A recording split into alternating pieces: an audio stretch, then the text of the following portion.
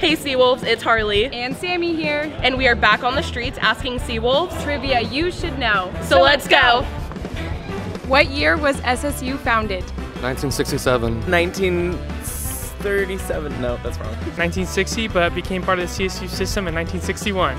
Wow, that's a pretty spot on answer. What year did we land on the moon? 1970. 68. The moon landing wasn't real. We never landed on the moon. You heard of Hangar 13? Dude, that's where they filmed it. okay. uh, 1969.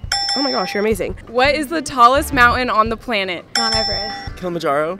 Is it Mount Everest? Mount Everest. Mount Everest? Oh, she's got it in the bag. Which ocean is on the east coast? oh oh man. Uh Pacific Ocean. No. the Atlantic Ocean. Atlantic? Yes. How do you spell hippopotamus? H I P P O P P O T A M O U S? T A M U S. Die P P O T A M U S? A